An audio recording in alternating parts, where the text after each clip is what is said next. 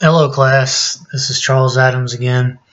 And uh, this week's focus is on the fundamentalist modernist controversy. And today I've chosen to speak about an individual involved with that controversy, and his name is J. Gresham Machen. All right. I do not really have an opinion of the man, and that is because historians must be objective and honest in their investigations.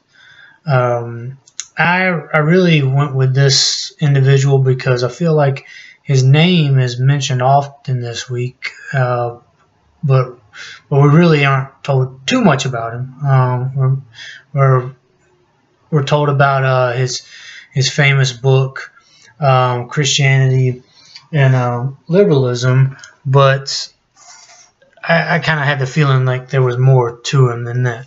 Um, so it's going to read to you a little bit uh, give you a little insight to Machen um, to begin with from our textbook, uh, a history of Christianity, Christianity in the United States and Canada.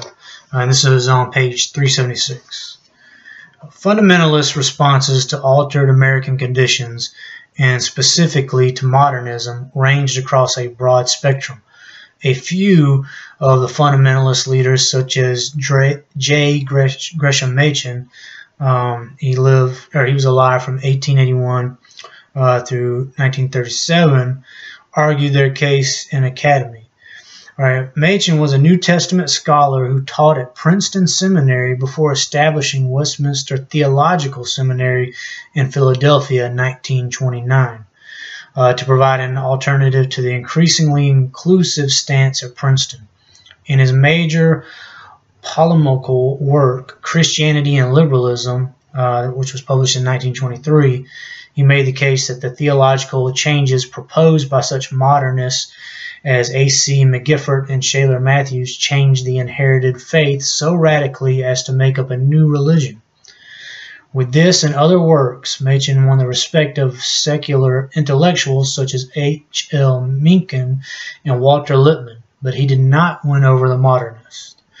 All right, so it mentions um, the book Christianity and Liberalism, and then it also says um, other works.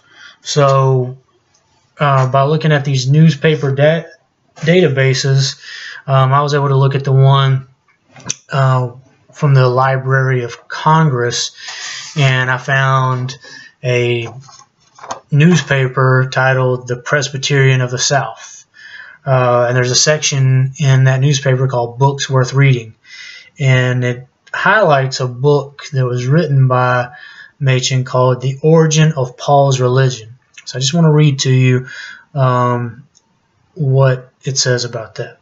All right, the Origin of Paul's Religion by Professor J. Gresham, Gresham Machen, Assistant Professor of New Testament Literature and Ex exegesis and Princeton Theological Seminary, publishers, the Macmillan Company in New York. This volume is the series of lectures delivered by Dr. Machen on the Sprunt Fund Foundation at Union Theological Seminary at Richmond, Virginia. In these lectures, Dr. Machen treats in an intensely interesting way the whole subject suggested by the title of the book. An idea of the scope of the treatment can be seen from the titles of the chapters the early years, the triumph of Gentile freedom, Paul and Jesus, the Jewish environment, the religion of the Hellenistic age, redemption and pagan religion, and in Paul, the lordship of Jesus. These various topics are treated in a masterly way, showing great study and a clear grasp. He who reads this book will learn a great deal about the religion of Paul and about the salvation which he preached. The author shows that Paul's religion and Paul's doctrine or redemption are absolutely inseparable, that both were derived from Jesus, and that the only Jesus from whom they could proceed is the supernatural Jesus of the New Testament. Um, I didn't know that book existed, but um, I'm actually intrigued. I'm interested in, in giving it a read. Uh, if you like a co- or if you like to look at um, that article, I have provided the link in the discussion board post. Thank you for your time.